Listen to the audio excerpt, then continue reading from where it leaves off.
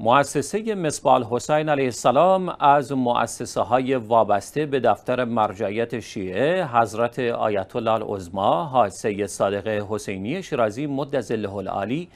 در جدیدترین اقدام و فعالیت نیکوکارانه خود به توزیع 6000 بسته غذایی اقدام ورزید. علی اکبری گزارش می‌دهد. دفتر مرجعیت شیعه حضرت آیت الله العظما حاج سید صادق حسینی شیرازی مدزل العالی و مؤسسه های وابسته به آن همه روزه ده ها فعالیت و اقدام دینی، مذهبی، فرهنگی و اجتماعی انجام می دهند تا گامی موثر در مسیر ارتقای خانواده های شیعی برداشته باشند.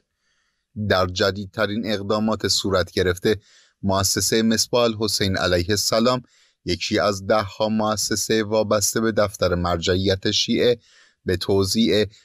هزار بسته غذایی در میان نیازمندان خانواده های بی سرپرست و ایتام در شهرها و نقاط مختلف کشور عراق اقدام ورزید. لازم به ذکر است این اقدام بزرگ امسال با همکاری سازمان اسلامی امام حسین علیه السلام برای توسعه و رفاه که مقر اصلی آن در انگلیس است صورت می‌گیرد و در هر بسته دوازده نوع ماده غذایی اساسی مورد نیاز خانواده ها گنجانده شده است. مؤسسه مصباح حسین علیه السلام هر سال دست کم پنج هزار بسته غذایی توضیح می کرده